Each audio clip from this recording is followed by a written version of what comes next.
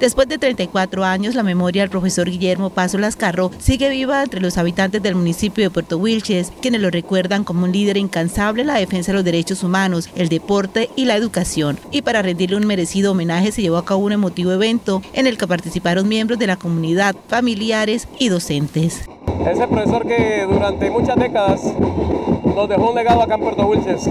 Y no solamente Puerto Wilches, Cantagallo, San Pablo, toda la región, Sabana de Torres, El Pedral, kilómetro 8, kilómetro 16. Y que de verdad hoy lo recordamos como esa persona ejemplar, esa persona que, que vivió eh, en Puerto Wilches y en la parte deportiva, en la parte sindical, fue una excelente persona y hoy lo estamos recordando precisamente en el aniversario número 34. El homenaje estuvo lleno de emociones con bandas de marcha que recorrieron las principales calles del municipio, culminando en el estadio que lleva su nombre. La hija del profesor, visiblemente emocionada, pronunció palabras emotivas y entre lágrimas aseguró que nunca pasa un momento que no recuerde a su padre y que la violencia se llevó una parte importante de sus vidas. Me gustaría tenerlo a mi lado, poderlo abrazar, poder festejar un día del padre como muchos lo festejan que mis hermanos no van a decirlo, pero yo sé que yo hablo con, por ellos. Yo sé que el amor que yo siento lo sienten ellos. Yo sé que el dolor que yo siento lo han sentido ellos. Gracias Dios mío por permitirme hacer este homenaje. Gracias papito por haber sido mi padre.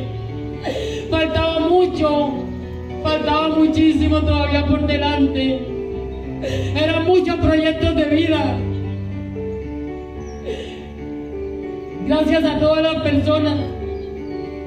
Y de corazón estoy con toda la familia que han perdido a sus seres queridos. Mi respeto a todos los docentes. Muchas gracias.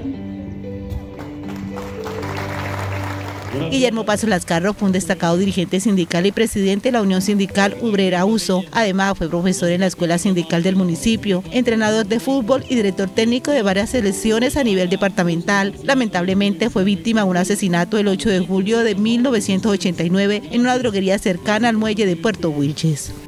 Hace 34 años, mediodía del sábado, fue asesinado, vilmente asesinado, en manos del Estado. Dos hombres le quitaron la vida, 22 disparos.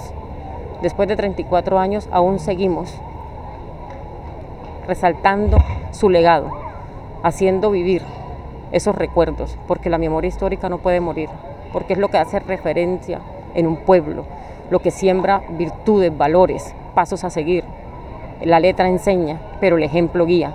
Y él guió a muchos jóvenes en su época, dejó un legado, tanto así que se ha nombrado forjador de valores. Ha vivido en nuestros corazones.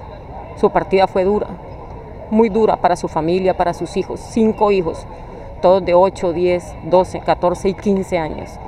Pero 34 años después nos encontramos aquí reunidos con todas las personas que lo llevan en su corazón, porque Él sigue vivo en cada una de las personas que Él conoció, porque fue una persona que fue bondadosa, que dio su vida por la de los demás. La memoria de este dirigente durará en aquellos que lo conocieron y el objetivo es que las nuevas generaciones también conozcan el legado que dejó lleno de espíritu de lucha y solidaridad. Su ejemplo de defensa de los derechos humanos, así como su dedicación al deporte y la educación, continúan inspirando a aquellos que desean contribuir a una sociedad más justa y equitativa.